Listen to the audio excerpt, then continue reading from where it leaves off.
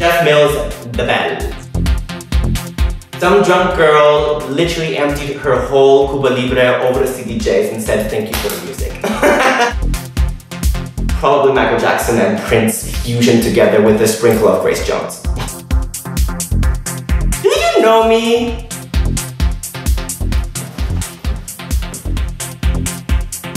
On the dance floor. Maron and he's life-changing.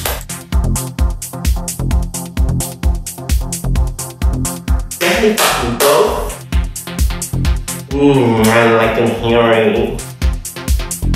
Gaga, la la, what's your bad romance? A joint on the dance floor. Probably a minus five.